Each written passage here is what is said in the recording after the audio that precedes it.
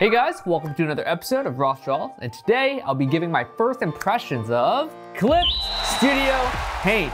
I try my best to help out as many artists as I can. I get so many comments asking about different effects and tools in different programs, so I'm happy to announce that Clip Studio and I are teaming up to give you this video. Let's do it. All right, one of the big features I'm super excited for is record time lapse. I heard so many great things about this, so we're going to make a new file. And there is a checkbox right here called record time lapse. You guys know that I made my career on time-lapse videos, you know, speed painting, recording my process beginning to end. I wish this feature existed when I started, but better late than never. Make sure to stick around to the very end of the video to see how the time-lapse turns out. Let's do it.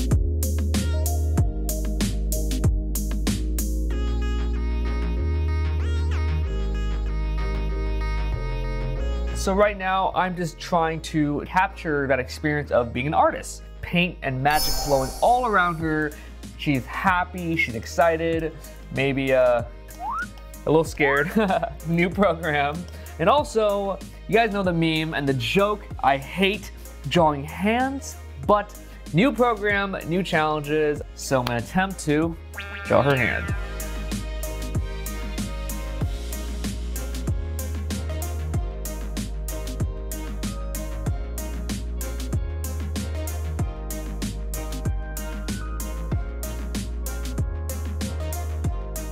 Hey guys, welcome back and here's the progress of the piece so far. And yeah, I'm having a lot of fun. I think the drawing experience is really smooth. It's a little foreign to me. I don't know all the hotkeys or the shortcuts, but I'm slowly and surely learning this program. And one tool that I've heard such great things about and I can't wait to try is the AI colorization. I'm a little hesitant on trying new things. You know, I'm a bit of a grandpa. I like to stay in my comfort zone. But this is a whole new program with a whole new set of features, and I would love to try AI colorization. The way AI colorization works is it maps out. But yeah, that's uh, how it works. Pretty simple. Let's uh, let's give it a shot. And set our layer to a reference layer, and without giving it any hints, any color, we're just gonna colorize it. You ready? Three, two, one. Oh my God! Yo! That's kind of cool. it has a sense of highlights, midtones, and shadows. This is a great starting off point for a piece, you know? For someone that just wants to spit color onto a page, is kind of scared of that white canvas, don't know what color to pick, this is a great tool. And now let's undo. We're gonna add a color hint to help guide the program into what color palette we want. All right, now this time, let's see what happens. Go to Edit, Colorize, use Hint Image, and Colorize. Oh! Oh my God! I can't believe it. You know, I was a little scared because my actual line work is very chaotic. You know, this is how I paint. And the reference tutorial had really clean line work. And so I thought it was gonna mess it up. But the AI did a amazing job at reading what I wanted. I think this is looking pretty good so far, so I'm gonna commit to this palette and I'll check back soon.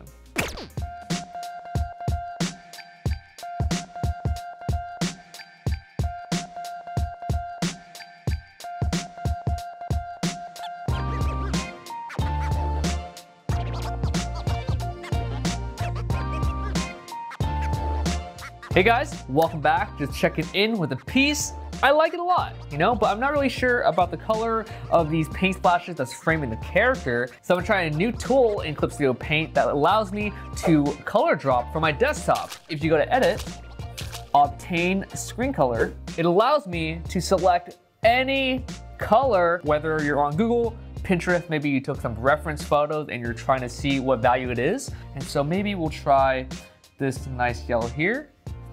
And then Ooh, that's awesome. This saves me so much time so I don't have to kind of drag it into my canvas. Also, I record all my YouTube videos with OBS, and one thing I've noticed is that when OBS is on and I try to color pick from my desktop, it automatically turns all my colors gray. So that's Kind of weird. Hopefully they'll fix it in a patch or two, but that's something for you guys to be aware of. Looking good so far, so I'm just going to keep work on it and I'll check rest.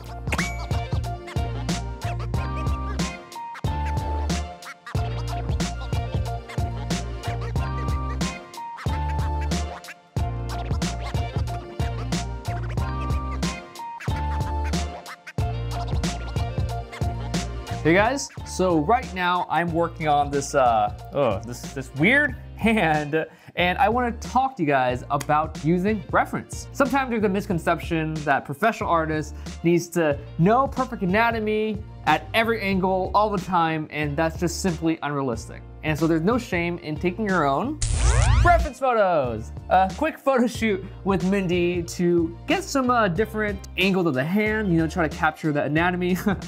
and so we're gonna let this guide us into making this better. So the next time you're kind of struggling with your piece, maybe take five minutes take out your camera phone and experiment by taking your own reference photos. Sometimes we're scavenging the internet to find that perfect reference photo, but maybe it's easier to take your own because you know exactly what you want and I just stumbled upon some of the default brushes that come with Clip Studio Paint. Usually I hate using default brushes because it's a little cheesy, but let me show you some of my favorite ones that come with the program. There's this flower one. I actually really love the line work on this.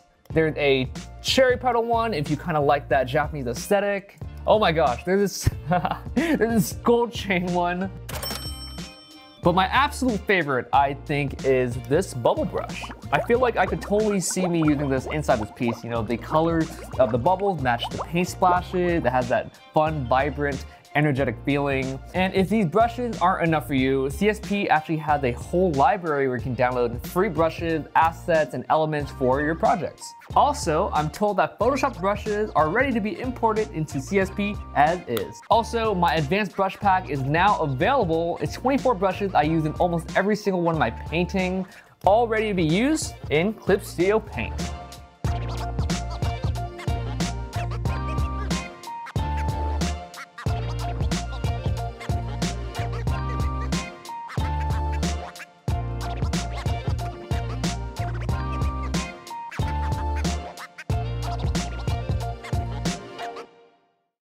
And last but not least, what really impressed me was the Clip Studio Paint cloud system. And because Clip Studio Paint is available for all major operating systems, Windows, Mac, Android, and iOS, I can work on my iPad. I think they did a really good job at translating all the functionality from the desktop to the mobile version. And when I'm done, say I come back from school, come back from a coffee shop, I can let the piece sync up and finish it back on my desktop. I really love this functionality because I think nowadays everything is fast paced, on the go, mobile, and I think this really helps me with my workflow.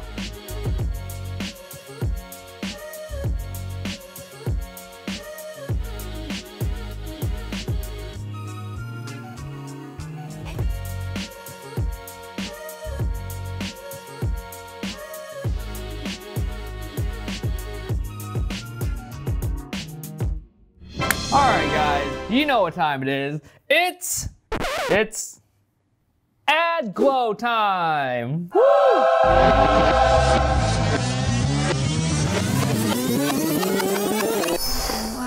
Ooh, add glow. Ooh.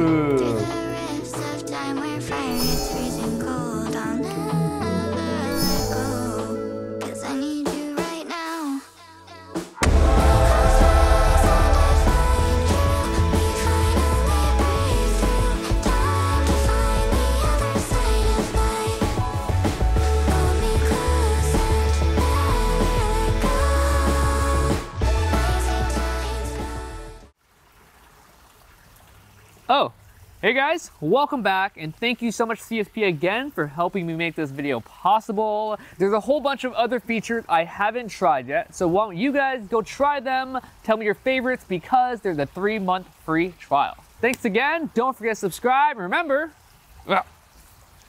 every day is a color dodge day.